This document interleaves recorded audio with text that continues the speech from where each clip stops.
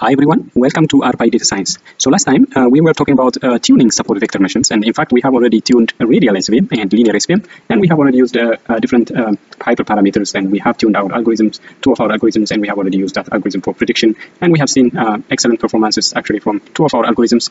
in fact we, we have done two each using the simple frequency data, simply using the train document feature matrix or the TF-IDF version of um, our, um, our data.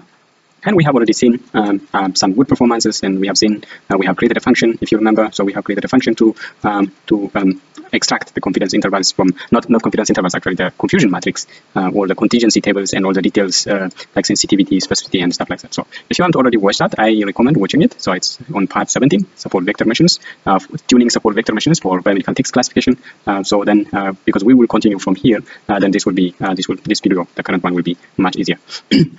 so if you remember um, so let me scroll up to what we did in um, um, radial SVM. So because we will, we are going to use uh, this one again. Uh, so what we did is like, uh, so we uh, call it SVM tuned uh, radial SVM, and then uh, we move to uh, we, the first uh, first argument that you give for tune uh, function is SVM, uh, and you have to always make sure that you don't have any object named SVM. Otherwise, you will have a problem. So you always have to um, you make sure that you don't you don't call your object uh, SVM. Otherwise, uh, if you are tuning, that, that, that's what I said. This is what I'm, I'm trying to explain. So you don't have to call your object SVM. Otherwise, if you if you are planning to tune SVM function, I mean SVM algorithms, then you will have a problem. So you always have to make sure that you don't have an object named SVM. The same is actually for other other algorithms like naive Bayes, for example. If you put naive Bayes here, then uh, you make sure that you don't have an object. It's, it's the same principle, like you don't need to have an, an object named data or something. That it's not because they, there will be some conflicts.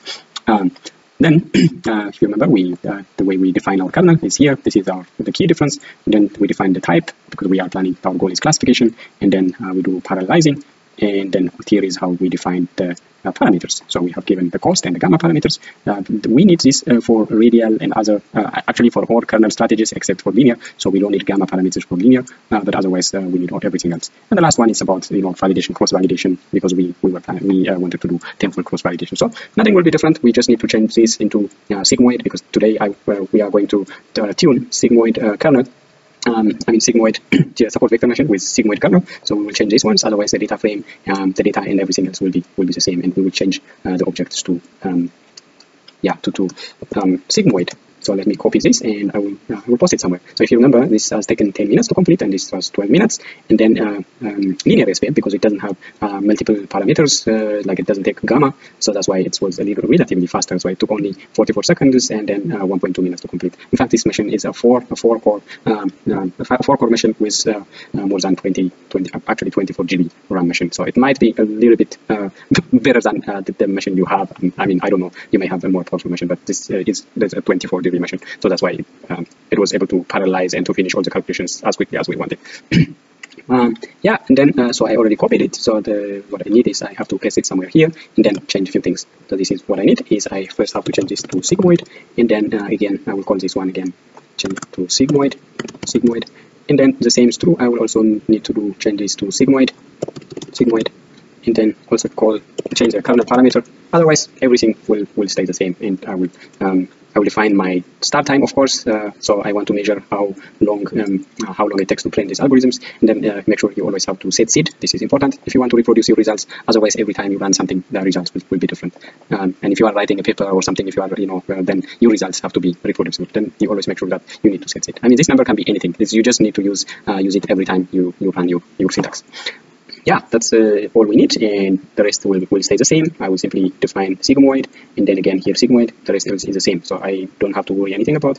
Um, then now I simply need to run it and come back after it's finished. So let me run it here, and then uh, I will be back when it's completed. Let me pause the video, and we'll be back.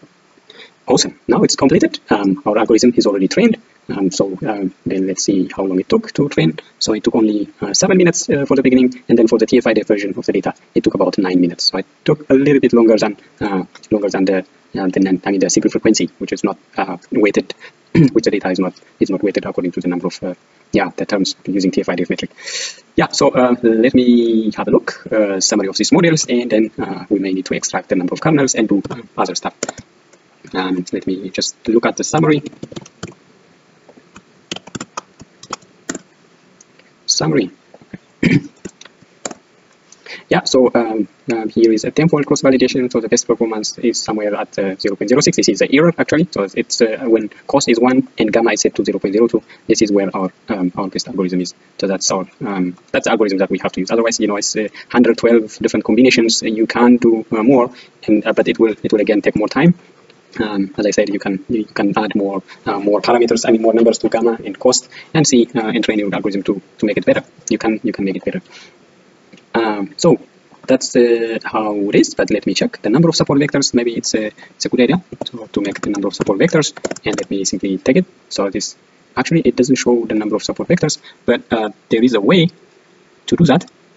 Uh, actually, I would like to extract the number of support vectors uh, for each, you know, for each algorithm. So let me do that. Yeah, so to extract the support vectors, the first thing, let me see the names, the names of, let's say, one of our trained algorithm, SVM, um, SVM linear, for example, uh, SVM linear. So let's see um, how it looks like. So these are the uh, the names that we need to look uh, to look at. Um, so we have best parameters, best performance method, and then uh, model. For example, this is a best the, the this actually the objects that you need to use uh, for your um, for prediction. So the first thing that I need is the, uh, I need to check this variable names, and then after that I can compile uh, the support vectors. But how do I uh, get the support, the number of support vectors? I need to get my best model and then see what is next to, to the best model. So let me check that, and if there is any name from it, there are still more names. So this, let me see. So we have the call, the kernel type, the degree, the gamma, and then maybe let me find number of support vectors. Ah, yeah, okay, there you go total number of support vectors. This is uh, what it is. So let me get this again. I will add again another dollar sign and then I can find it. Now I can remove the names and then print the number of support vectors. The number of support vectors for the linear is about 328. So if I make it TF-IDF, TF-IDF, how many support vectors do I have? It's 625. So that means that's why SVM linear, uh, the non-TF-IDF version of the data actually performed better than the TF-IDF. So the, the, larger you get, actually, the larger your number of support vectors, the, uh, the more chance of overfitting. Now, I would like to uh, extract all these number of support vectors in, in a kind of data frame. So to do that, I need to, uh, let's say, um, I don't know, number, um, let me simply call support vector, and then let me use rbind, um, then let me simply create whatever uh, I need here. So the first thing that let me say is linear SVM, linear, uh, actually, let me call it uh, lin SVM equals, and then SVM linear, and then um, uh, best model paste model and then after that again we have to use that TOT total number of support vectors. And then another one we need another one. So for that what we need is we just copy this one and then um, change things. So let me call this TF-IDF and then um, I change this model into TF-IDF because that's uh, actually how we call our model. Next one is radial. So let me call this rad SVM equals SVM tuned. I think that's how I call it. SVM tuned uh, radial. That's my um, radial SVM and then again paste model let me have a look. Best model again. And then from there uh, again we need the total number of support vectors then after that I again need this one again and change things. Um, please just for making it more readable you can just restructure things. And then TF-IDF again again here. Uh, I would just need to change this to TF-IDF and then I go further. Uh, the other one the last one that I did is sigmoid. So let me just call it sig svm um, sig svm equals um, svm sigmoid, SVM sigmoid, this is SVM sigmoid. uh, let me make sure that's actually how I called it. So this is SVM2S. Okay, I shouldn't have, yeah, that's fine. Uh, that this is SVM sigmoid, so I'm, I'm fine. I can simply uh, SVM sigmoid. And then um, again, the same, uh, this model, this model. And then from there again, we can use this total number of support vectors. Again, for the next one, I simply copy this and then change things. Okay, let me just copy this and then put it down here. And then from there, TF-IDF let me call it TF-IDF and change things. Um, SVM, yeah, this one here. Then after that, I can um, close this bracket. Um, then actually, I already have a bracket, and maybe I can I can have a look how this looks like, and maybe I can convert it to a data frame as data frame as data frame and then finally we can change the names into into something else. So now we have already extracted the number of support vectors. Let me just print it and see how this looks like. So now and we see linear SVM has 328 support vectors and linear SVM TF-IDF 625 and radial SVM is a little bit more than the linear SVM 356 and the radial SVM has 634 and then uh, 388. Maybe I can name this uh, this V1 into um, into something you know into some kind of uh, uh well descriptive name. So to do that I can simply use the names the names function and then assign it to some kind of name. Let's say total uh, okay number of support vectors I can use it like this, or maybe uh, more descriptive support mm, number of support vectors. Just want to be um, yeah. And now if I print this, I will be able to see my yeah so number of support vectors they are like this. And then um, again, if you remember, we had a, a, function that we created yesterday, I mean in my last tutorial. So yeah, you remember this is there is this. Uh, first, actually, we need to predict. After that, uh, we can uh, see our confusion matrix and the like. So let me just copy this, and then I can use this spread conf function. If you remember, we have already created this function uh, just uh, on the part 17 of our tutorial. This is how we created it. So this function takes a trained model, best trained model, that means the base model, and it takes the test data, uh, test data, and then it, it so the first thing you need to do is you predict, and then after that you create, you tabulate your class. That means uh, the predicted class against the uh, the test, and then uh, from there you can do you can get your contingency table or the confusion matrix or this two by two table, and then once you get your two by two table or confusion matrix or contingency table, you can use this confusion matrix uh, function, and then uh, after that you can return the tabulated class and the confusion matrix. The tabulated class is this uh, this one mm, actually yeah no the tabulated class is this the first from the list is the first object, and then the second one will be actually this is printed twice. Uh, you may not you may not actually need uh, this tabulated class. Uh, you just need you can simply return the confusion matrix. But instead of running, you know, instead of running all these lines uh, for every algorithm, uh, you can simply uh, use this function and then simplify all the steps for you. That's what actually functional functional programming helps. It simplifies or it shortens the number of lines of your code yeah so now let me use that uh, sigmoid model to predict my uh, test data frame. So I already extracted the number of support vectors but the next thing that I want to do is I need to uh, predict. So uh, let me just call this sigmoid. Um, so I call it sigmoid sigmoid SVM again I can simply take this and then um, call it sigmoid uh, TF-IDF and then from there again I can simply change this model uh, SVM sigmoid. So my notebook is not detecting it. Maybe it's already there. Um, sigmoid yeah, so there. Then uh, the test data frame will stay the same, and then this one will be uh, sigmoid DOI. So that's wrong. Sigmoid. Then here again, SVM. Hmm, that's not what I want. My uh, yeah, this one. SVM sigmoid TF-IDF. Actually, this is not how I how I named it. How is that? yeah, let me just bring it here. So SVM sigmoid SVM sigmoid TF-IDF. That's my uh, my model. Then the best model will be simply passing this uh, best model after regular sign. Yeah, let me just bring it. And the best model now I need to give it a, uh, the data frame, which is the test data frame. This is the TF-IDF version of my test data frame. And then simply run it. Now it's already there. If you want, you can uh, create a table and see. Let's say like this.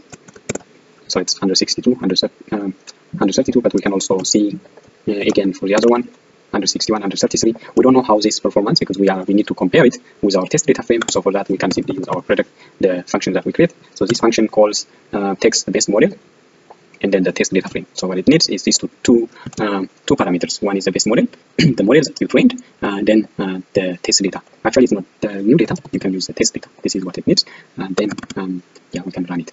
Then after that, you will see SVM. So I made an error here let me just uh, correct this one. SVM sigmoid base model now I will have everything there you go. So now again uh, okay 95% accuracy. This is amazing. 98% sensitivity and a specificity of 91% this is by far by far the most uh, the most accurate SVM algorithm that we have that we have seen so far. Wow. So this is 92% uh, positive predictive value still you see the precision and uh, positive predictive value. They are actually the same thing.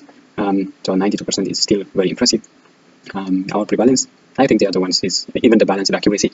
Actually, balanced accuracy is like uh, uh, sensitivity plus specificity divided by by two. It's arithmetic average of the two. But the other um, one, F1, is is also uh, because it's a weighted measure of sensitivity and specificity. It's again an impressive, an impressive score. Really, this algorithm uh, is working very, very well. Let me see the other one. Uh, see the other one, and then um, we change a few things. SVM, um, sigmoid yeah, this one here, and then I simply change this to TF-IDF, the TF-IDF version of my data. So there you go. Again, uh, if I use a TF-IDF version, um, it's not very different. Still, I have 95%. Oh, ah, yeah, okay. This is the second one. So this is again, uh, it's a good one, but it's not, uh, it's not as as good as the first one. So you see, um, I have it has worked well in this case uh, actually to identify uh, the COVID cases. Uh, majority of them are, are, already identified, but in, in SARS we have lost uh, a bit of papers. But generally, you see this algorithm is uh, is again is again impressive. But we will compile all of them. We will compile all of them in in a table, uh, and then we see you can easily you know we can uh, extract all these values uh, all of them and then we can have like a table a table structure so you can have you know linear SVM and then the next one sensitivity specificity uh, maybe we can also calculate confidence intervals and see see it in in, in a really in a very elegant kind of table otherwise uh, this may be not easy because every time you have to scroll up and down uh, to compare to compare the values which algorithm is actually working uh, working well. So that will be my next session. But for now I can add one last thing. Maybe I can add um, I can go in one of one of the models and then uh, plot them. Maybe uh, put them in a plot. Let me extract the values. Uh, once I extract the values, I can uh, we can plot them. To plot them, what we need is again we can uh, see the these values, the cost and the gamma values and the error, and then we we plot them in simply ggplot ggplot2 or something, and then we see where actually our best model is. It's simply to put it in a graph and then see where your model is. It's a little bit of code, but that's that's doable. But let me maybe try which which which one is my best model. actually, this SVM sigmoid model. That's my best model. So let's go with that. Um, so now let me add few few cells and then maybe I can start uh, with this model, so with the two, and then we can plot them side by side. So maybe that's a little bit of code, uh, but uh, but let's do it. So the cost would be the first thing you need to do is the cost. So let me have SVM performance. Um, that's uh, actually this SVM performance. The names are uh, you can check the names actually. Now it's a cost and gamma.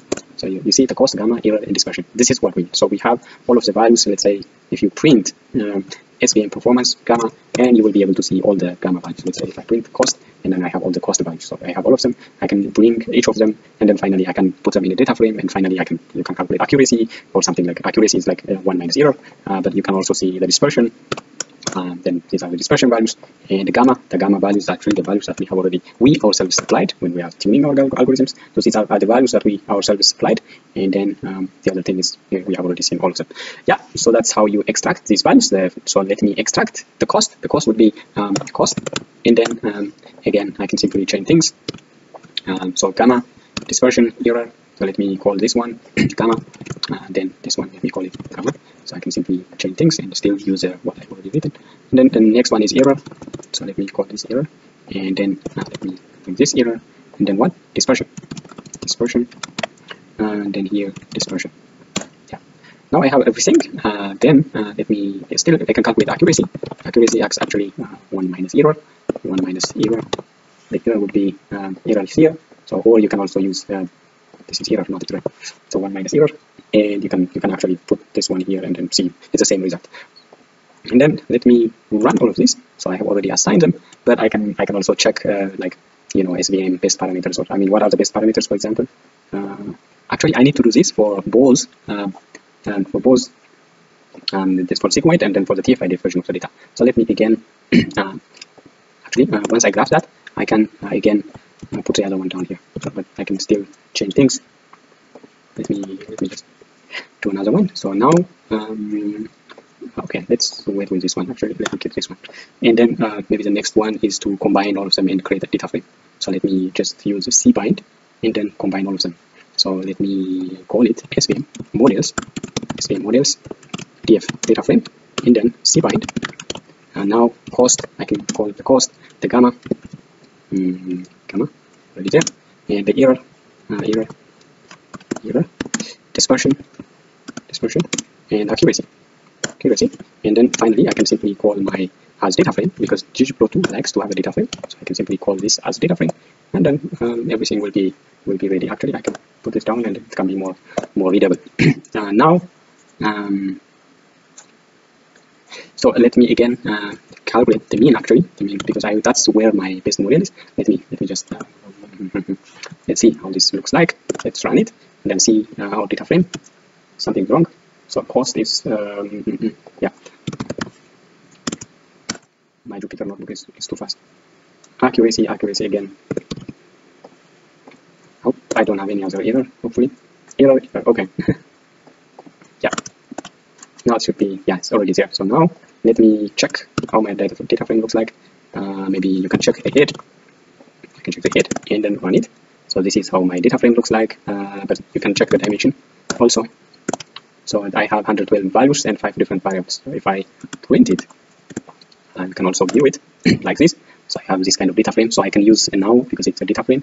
I can use a simply uh, ggplot ggplot2 and then plot the gamma and the cost the error values in in um, uh, in, in, a, in a plot. So that's what I need to do. So let me just call it plot svm uh, plot SVM, maybe PSVM, PSVM, and then uh, call my ggplot, ggplot function, uh, then me call the data frame first object, or you can also do like piping, but I can simply use ggplot as my uh, title, my data frame, and then the first argument would be um, the x variable. Let me just use the cost, and then uh, the y variable will be the error, and then let me just use color.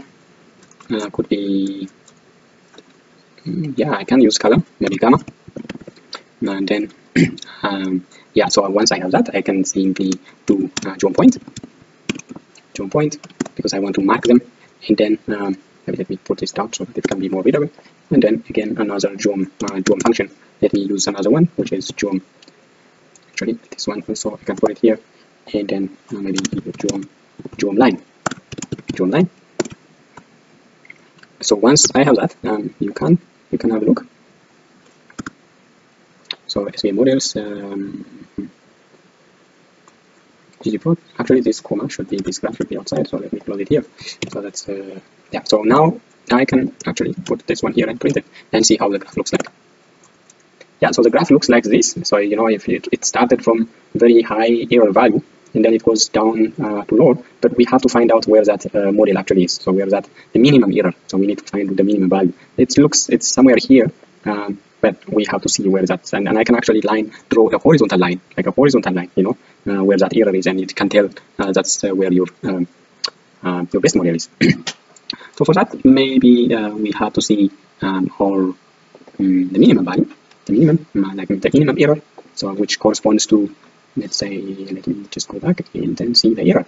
So let me see uh, where is the minimum. So let me just print min minimum value of SVM error that's 0.06 so now uh, this is a value that I want. So then um, I can mark that point as geom h line and then uh, also can add another another geom segment or something uh, to uh, to mark it. So maybe let me copy this. Actually I can um, take a value a little bit uh, uh, bigger a little bit bigger than I mean smaller than this. So let me let's actually let's go back and then add um, geom h line. Why is it going there? Okay anyway geom h line um, that's uh, what we need. Geom h line and then uh, y-intercept the y-intercept should be somewhere. That's the value we have but we can kind of make it a little bit bigger 0.67 maybe. Mm, then and then let me color it. Color would be dark green. Let me put it that way. And then a line type. Line type. Line type. It's not detecting it. Line type. Okay. Should be let me make it dashed now I can also define the size 0.7, the size of the line. And then uh, plus, what else do I need? A geom line. Uh, let me see how this looks like. Okay, hopefully I don't have an error. Yeah, okay, there you go. So this is where my, um, so it's going a little bit high, higher. Uh, what if I actually do the same? actually, I can, I can simply, uh, where was that? Yeah, 0.66. Let me just see. Yeah, so this is where my uh, my models. So you can also point add a pointer. So to add a pointer, this is between uh, 0 and 5. So I can simply um, yeah create some kind of geom segment and then see mark it in red color. Maybe I can add, I can put this down here and then um, add, but the readability is a bit is a bit boring. So I wanted to put it here because geom line is a geom function, so it should not should not it. Okay, so now it should be possible to add another segment, but still doesn't doesn't look good. Geom segment that's what I need. And then for the geom segment I need the aesthetic in the x. The x value should be uh, somewhere between 5 because I want to draw some pointer here. So because I want to draw some pointer. So this is 0 and this is 5 so this is probably somewhere um, 2.5 or something. So let, I can use 3 and then I can mark that point uh, going from 3 to so for geom segment x could be this is kind of trial and error actually. I mean you can uh, assign um, let me maybe put it the x value should be 4 and then the y value should be something smaller than this. Otherwise the um, yeah. I mean the error is on the y so the y value should be uh, something because I don't want to touch that. So let me just put it a little bit smaller smaller than that one. And that could be somewhere 0.65 maybe. I can also do it the same way like this um, but yeah let, let me see how this looks like actually okay something wrong and then the x int ah no we didn't define the x int and the y int so geom segment requires x and y and the x int and the y int. So that's what they want. So they want the x int and the y int. Let me make the x int um, like 0. Point, no, so x is 4. So where is should it end? So it started from 4 um, actually. So um, okay, let me again point this graph again. Hmm. Yeah, anyway, in the graph, uh, we need to plot it again.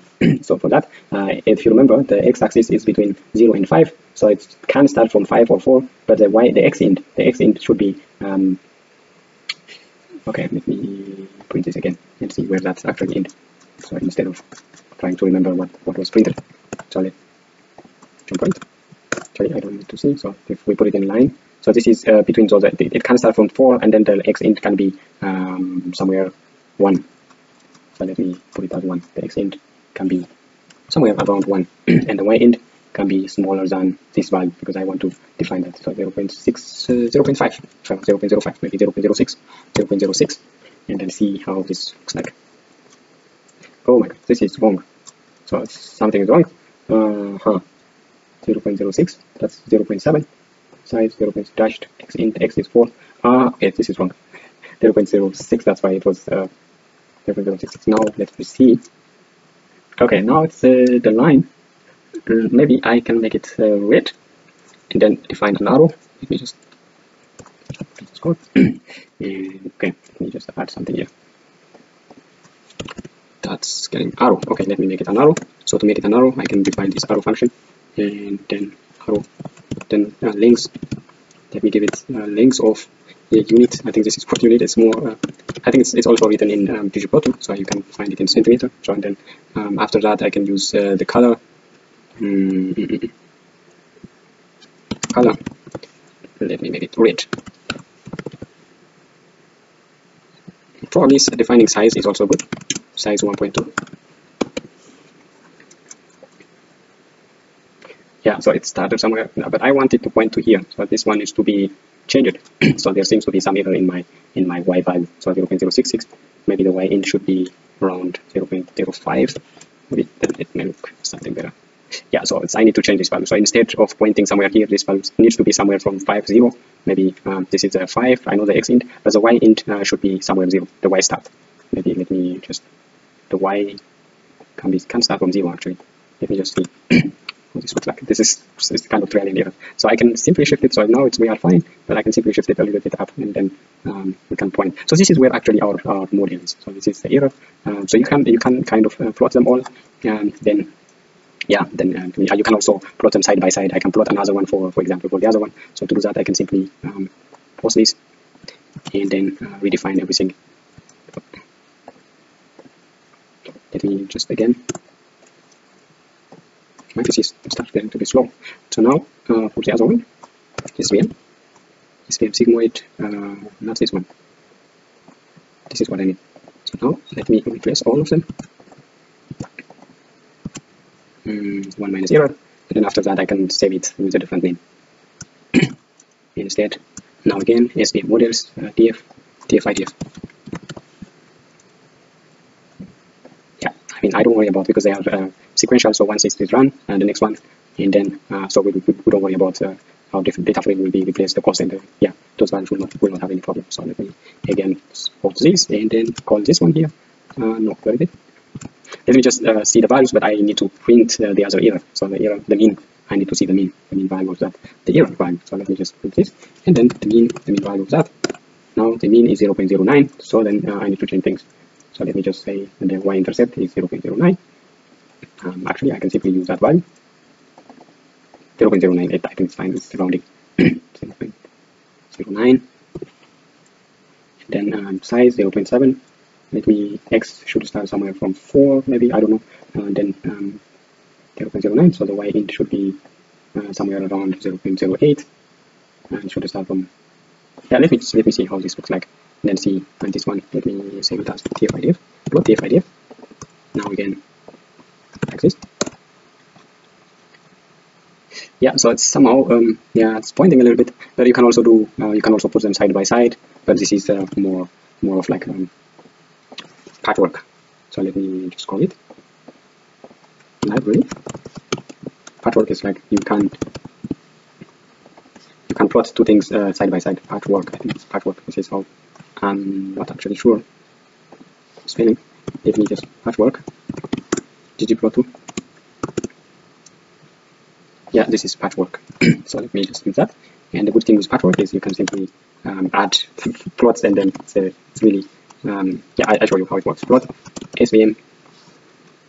I think it's p. So it's like p svm okay plus p you can simply add two ggplot uh, ggplot objects and then you can plot them side by side. So this is how it looks like. It's a little bit um, compiled and like congested, but this is where uh, in the first model. So you know when you see it side by side. So that means the first model has a smaller error. So you see this is um, it's 0 0.1, 0 0.1. So it's, you see it's a smaller error. So this is where my um, um, error is for the first model, but for the second model, this is where the error is. It's approximately actually close to 0 0.0.1. It was 0 uh, 0.09. So that's uh, how you can extract this cost and gamma and all the values, and then you can uh, put them in a data frame. In my next session, I will uh, I will extract. You know, I will show you how you can extract all uh, all my all these values, you know, all this like uh, all this sensitivity, and uh, and then put them in in a table in the data frame, so you can access them anytime, and then you can instead of you know going uh, confusion all these confusion matrix for each model and comparing them might be uh, time taking. Instead, you can collect them all in, in a table, and then you can even save it in, in Excel or something. Yeah, that's what I want to do next. And also next, I would also uh, want to proceed further in uh, regularized regularized models. you know, those like ElasticNet, Ridge, Lasso, those kind of models. They are really um, very fast. GLMNet, so they are they have a really nice package called GLMNet. So with GLMNet, we will, uh, we'll do, I will do some uh, little bit uh, theoretical intuition, and then I will show you how you can run GLMNet. Um, yeah, GLMNet into in R for text classification. Actually, uh, the regularized models they are suitable for for text data because they they are able to uh, um, handle um, kind of uh, text data, which has uh, many variables, many features like text and genetics data. So you have in this kind of data, you have more number of uh, columns than number of rows. This is what I will do again in my uh, in my next tutorials. But once we complete this uh, text, uh, maybe after that I can do one maybe random forest or something and then um, after that we can compile all these models and then kappa Fleiss kappa actually for multiple vectors we can see how models uh, uh, correlate in the prediction how the predictions agree with each other we can we can do that kind of stuff. But I'm more interested in more um, you know research synthesis. Uh, so I would like to proceed further on uh, on meta-analysis and uh, doing more systematic reviews and things like that and how to simplify this work in, in using using this text mining um, text classification and the like.